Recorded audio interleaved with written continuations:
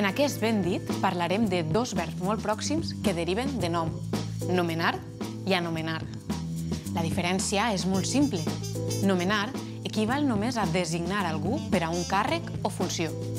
L'anomenada ministra d'Afers Estrangers. El director encara ha de nomenar el seu equip de confiança.